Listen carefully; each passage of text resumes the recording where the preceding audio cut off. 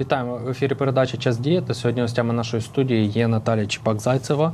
Вітаю, соціолог, директор соціологічного центру Соціоінформ, а також аналітик громадянської мережі ОПОРА Олександр Неберокут. Олександр, вітаю. Отже, сьогодні ми говоримо про підсумки другого туру виборів міського голови. Насправді сюрпризу не сталося. Андрій Садовий обраний мером у другому турі. Е, Наскільки це було прогнозовано, Наталя, на вашу думку, і наскільки це підтверджували результати соціологічних досліджень? Ну, в даному випадку можемо сказати, що ситуація була доволі прогнозованою. Е, Соціологічні дослідження показували впевнену перемогу Андрія Івановича на цих виборах. Е, Єдине, що були певні сумніви з приводу того, наскільки організовано з'явиться електорат на дільниці, тому що показує практика, що на другий тур чомусь доходить завжди менше людей, ніж на перший виборів.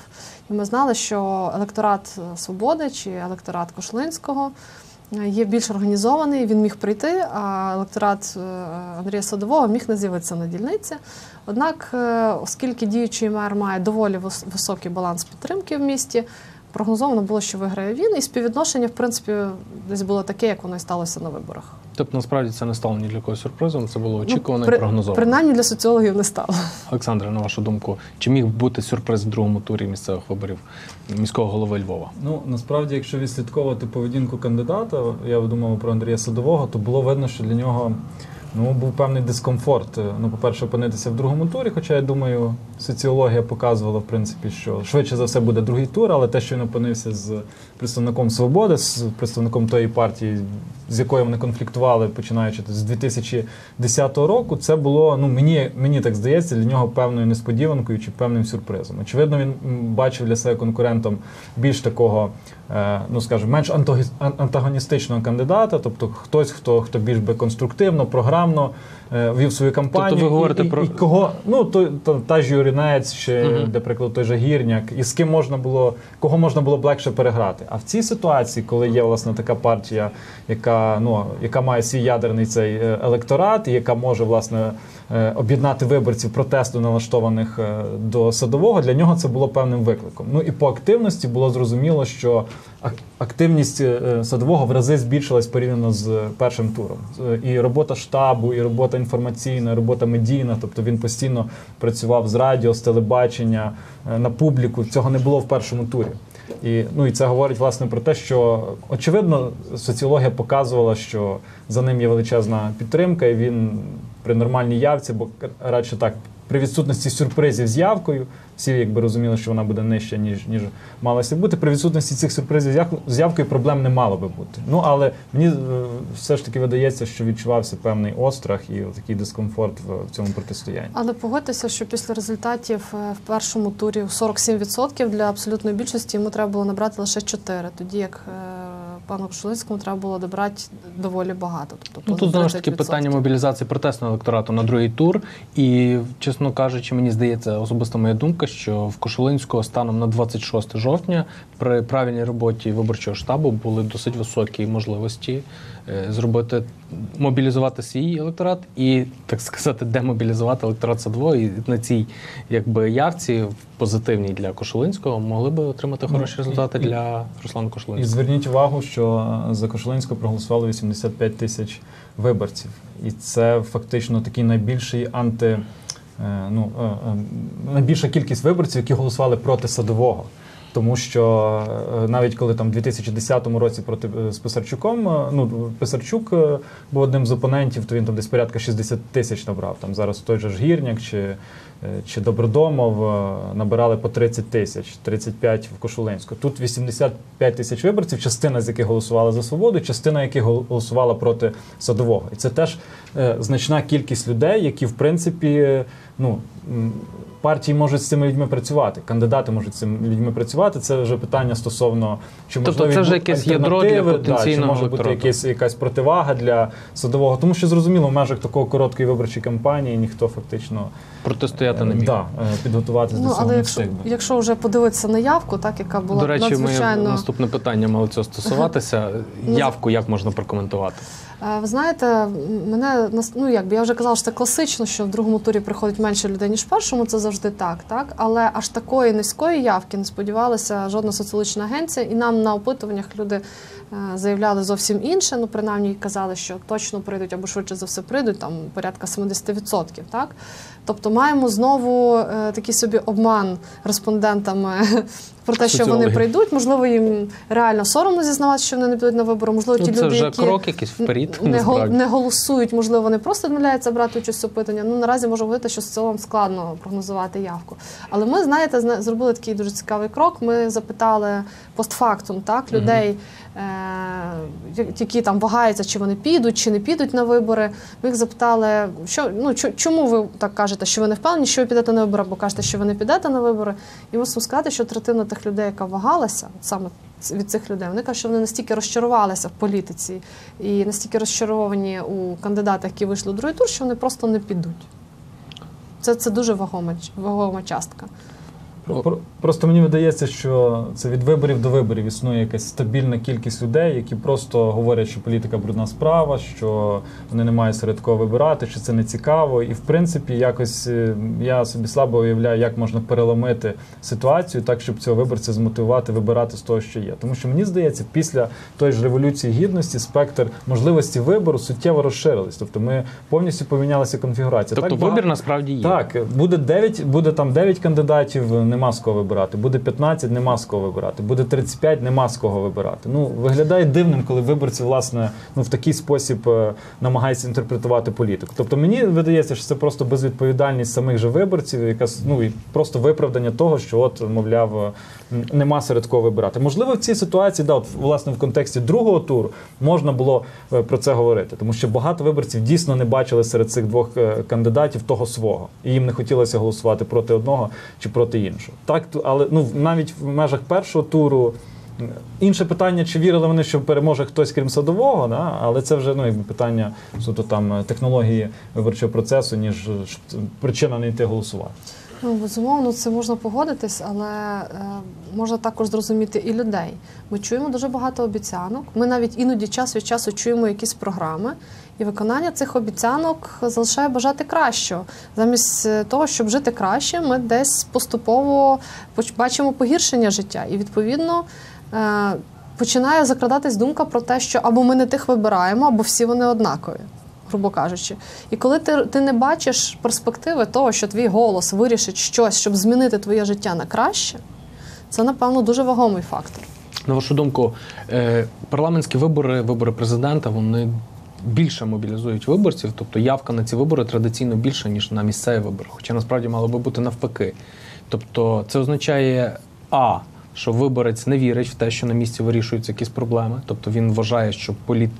полі- місцеве самоврядування нічого не вирішує. Який сенс іти голосувати за мера там чи за депутата міської ради, якщо все вирішується в Верховній Раді? От коли будуть вибирати депутата Верховної Ради, я піду і проголосую. Чи можна цю тезу вважати правдивою? Ну, насправді є такий момент, що коли ми маємо загальнонаціональні вибори, е, ми, ми чуємо дуже багато таких гасел, які апелюють до емоцій. Так? І вони нас зачіпають. Там українська мова, збережемо українську державу, е, зменшимо тарифи. Так? Тобто, Тобто на- грають на емоціях, грають кажучи, на емоціях і це мобілізує і на наших потребах, так. А коли ми говоримо про вибори до місцевих рад, тобто ми насправді практично і не чуємо, чим один кандидат буде відрізнятися від іншого. От принципово ви можете зрозуміти різницю між кандидатами, які йшли до міської ради в перший тур, наприклад. Ну, дехто з них обіцяв контрактну армію. Ну це ж неможливо. Абсолютно. Розумні люди зрозуміли, що це неможливо. Розумні люди розуміють, що мені щось таке обіцяють, чого неможливо виконати, оскільки це не компетенція місцевих органів влади. І вони думають, навіщо мені голосувати за таких людей.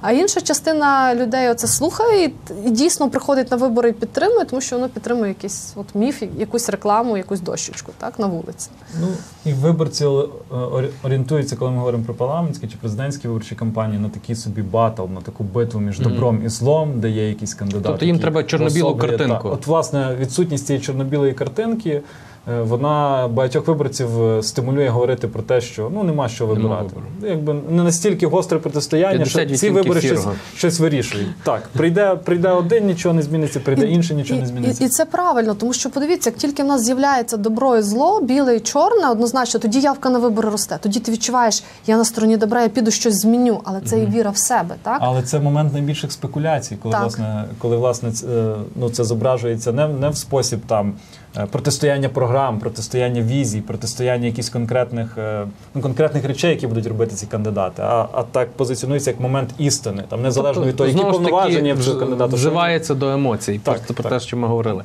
Е, Олександр, на вашу думку, чи виправдав себе другий тур як е, нововведення ну, виборчого законодавства? Мені здається, що виправдав. Ну це взагалі якби нормальна практика з точки зору якби легітимності виборчого процесу. І ми ну зараз ще якби е, загальну картину важко оцінювати, не бачили кінцевих результатів, але ми розуміємо, що багато кандидатів, які власне були мали другу позицію в. За результатами голосування 25 жовтня, багато з них зараз е, має шанс, і, і так швидше за все станеться. Частина переможе, і ну фактично, якби не було цього другого туру, результат залишилось. виборів був зовсім інший. Ясно, що якби явка на другому турі в багатьох містах є достатньо низькою. і Багато хто буде критикувати, ставити під сумнів легітимність цих виборів. В тому ж Херсоні, наприклад, 28% прийшло. Ну і хтось буде казати, краще б там в першому турі вибрали при нормальній явці. Хоча цей, цей е, переможець міг мати мало голосів, ніж от в другому при 28%. Але очевидно, що це спрацювало. Це навіть самих виборців стимулювало, можливо, ще раз переглянути, якось більше вникнути в те, що обіцяють кандидати, наскільки вони є конструктивними, наскільки вони є популістичними і так далі.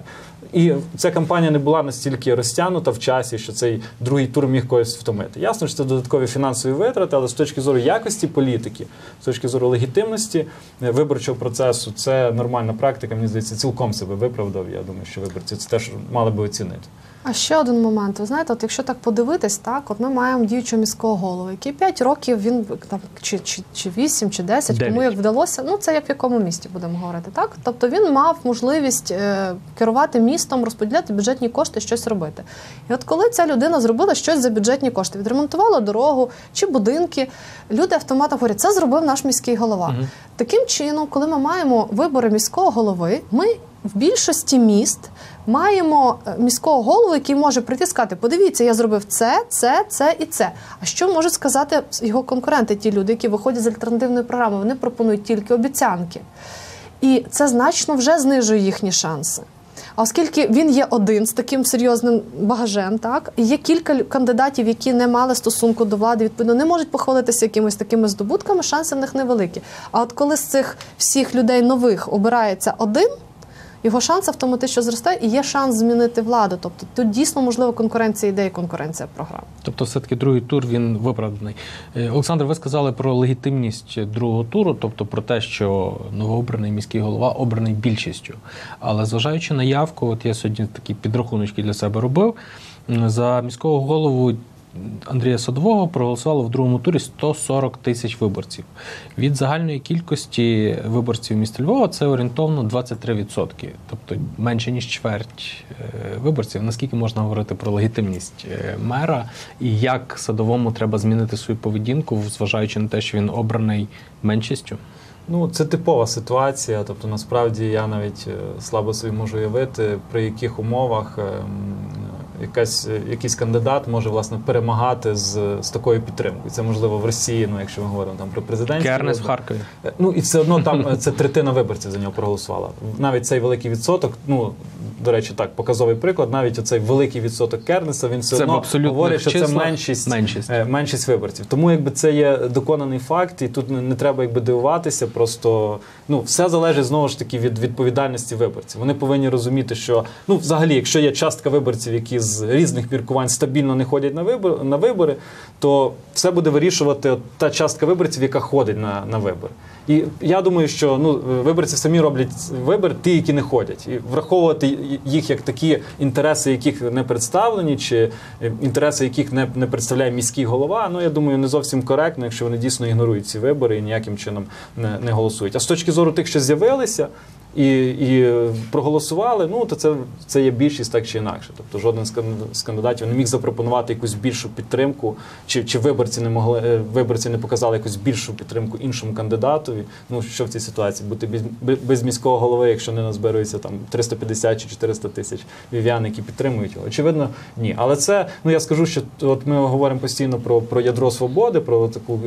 Певний їхній електорат, який кочує від, від е, кожного е, з одного електорального циклу, циклу в інший. Ну зараз вимальовується фактично такий електорат і садового, тому Мгм. що його е, цих 130-140 тисяч, а там було і 160, раніше ніколи цей межі не опускався. При хто би не був його супротивником, чи той же Писарчук, чи там Михальчишин, чи Куйбіда, чи інші якісь кандидати, він завжди має оцю ну вже три електоральних цикли. Він має оцю свою цих своїх виборців. Чи вони ведуться там на, на власне на те, що він має доступ до бюджетних ресурсів, і, і місто змінюється так чи інакше, чи вони там якісь програмні пріоритети все ж таки е, більше оцінюють. Чи все таки медійна кампанія чи, чи, грає так, роль? чи, чи це якби медійно прив'язані ці виборці? Ну але це велика кількість, і і вона існує, і це певне ядро, з яким е, ну мені Ну, важко теж собі від теж 100 це, уявити. ну, власне це дійсно тут ядро. великий виклик для можливих конкурентів, для можливих опонентів, е, як, як мобілізувати їм виборців, щоб можна було протистояти. Очевидно, цей електорат так швидко не розсіється. Хіба ну якісь корупційні скандали величезні, чи там якісь е,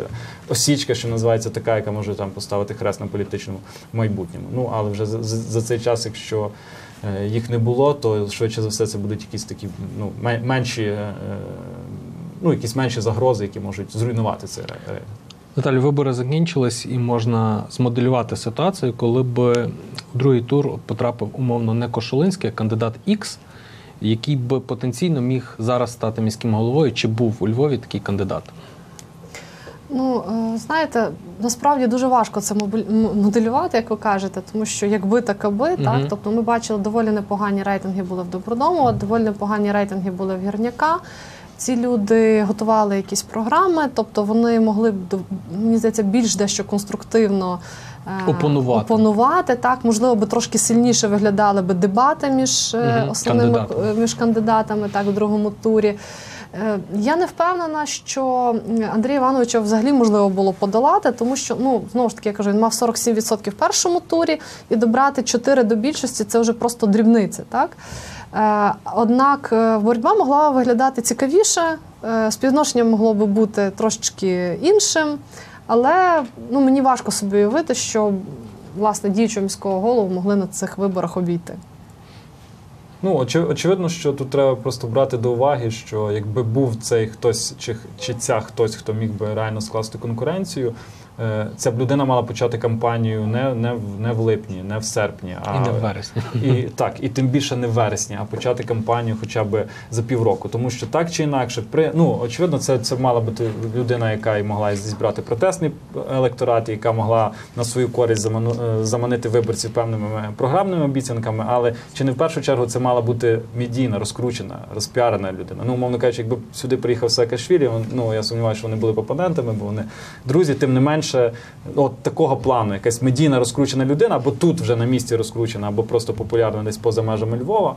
При наявності знову ж таки тих речей, які я сказав, можна було б е, яким чином конкурувати. З тих з тих політиків, які були зараз, ну вони занадто пізно, мені здається, включились в боротьбу, тому що тому те, що вони розтягнули ковдру цих голосів між собою, і з'явився Кошулинський, воно виглядало в цій ситуації не зовсім прогнозовано очікувано для мене особисто, ну але логічно. Олександра, і по завершенню місцевих виборів і пройшли і перший тур, і другий тур е, мерських виборів. Як ви можете оцінити новий закон про вибори місцевих органів самоврядування, який от буквально напередодні вступив в дію? ну, більш позитивно, ніж негативно. Треба розуміти, що ну, будь-який закон має свої. Тобто це завжди питання політичної доцільності, вибор, якщо говорити про виборчу систему, і тут теж були конкретні цілі. Ну так як, як, як ми їх розуміли, як їх експерти розуміли, ключове завдання полягало в тому, щоб, по-перше, не роздробити на місцях е, цю представницькі органи, щоб не було там 15 чи чи, як в нас було там 17 партій в обласній раді. Е, Це, це була якби перша річ. І друга річ е, фактично спустити на місцевий рівень оцю конфігурацію, яка існувала в парламенті. Тобто ті партії, які були представлені в парламенті, е, сприяти тому, що вони прийшли на місцевому, на місцевому рівні. Ну, з одного боку, це можна говорити, що це там узурпація, централізація, але з іншого боку, ми маємо розуміти логіку тих процесів, які відбуваються в країні. Зараз відбувається з різним там ступенем успішності реформи, але та ж реформа децентралізації, для якої треба серйозну підтримку на місцях, от вона має спиратися на те, що в представницьких органах будуть якісь партії, чи будуть ті партії, не якісь, а ті, які представлені в парламенті, які штовхають реформу на вс- всеукраїнському рівні, і які матимуть своїх союзників на місцях. Тому з точки зору цієї логіки, яку закладали розробники, е, воно якби якоюсь мірою спрацювало. Е, Чого побоювали? Що ну що дійсно прийдуть ці тільки парламентські партії, всі нові партії, партії громадських лідерів, вони відсіються. Нагадаємо, в ефірі у нас була Наталя Зайцева Чіпак, а також Олександр Неперекут. З вами прощаємося до наступних ефірів. До побачення. До побачення. До